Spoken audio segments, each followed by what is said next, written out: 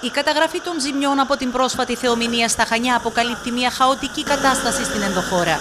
Στα μεσκλά του Δήμου Πλατανιά, ο ποταμός έχει κυριολεκτικά εξαφανίσει το δρόμο που οδηγεί στο Φουρνέ και στα υπόλοιπα χωριά της περιοχής.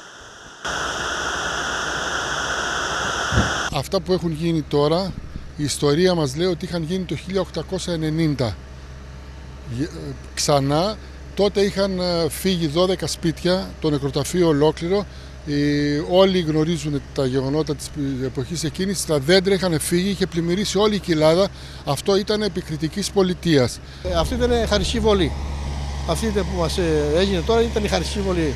Αν προχωρήσει από το χρόνο, δείτε τις καταστροφές, οι παραπατάμενες καταστροφές, όπου είναι ριάκια, όπου είναι ποτάμι, έχουν εξαφανιστεί τα πάντα.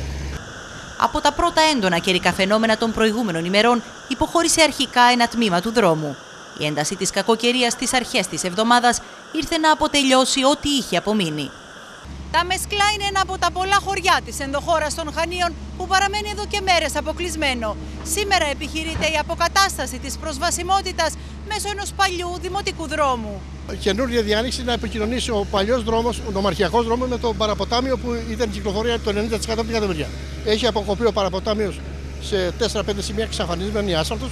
Από εδώ και μέσα πάλι τα ίδια, εξαφανισμένη άσφαλτο, το πάτωμα, όχι κατατόσει.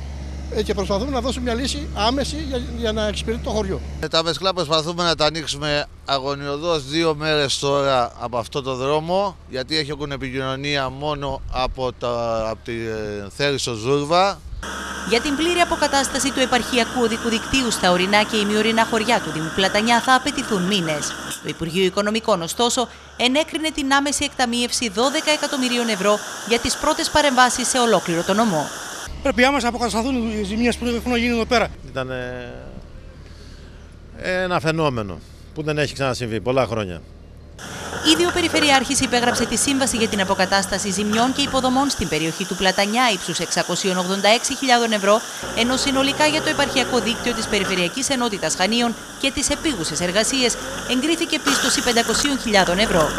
Πιστώσει ύψους 720.000 ευρώ διατίθενται για το Δήμο Κισάμου και 915.000 ευρώ για το Δήμο Καντάνου Σελήνου. Είναι χαοτική κατάσταση. Προσπαθούμε να κάνουμε ό,τι μπορούμε. Την ίδια ώρα να αποκαταστήσουν την ηλεκτροδότηση σε χωριά της ενδοχώρας επιχειρούν συνεργεία του ΔΕΔΙΕ. Η εικόνα είναι ότι είμαστε παντού, αλλά είναι ζημιές μεγάλες. Ε, πάρα, έχουν πέσει πάρα πολύ στήλοι. Προσπαθούμε να δουλεύουμε μέχρι τις 7-8 η ώρα το βράδυ και ό,τι μπορούμε θα κάνουμε. Στο μεταξύ προχωράει η συναρμολόγηση της στρατιωτικής γέφυρας τύπου Μπέλεϊ στον Πλατανιά.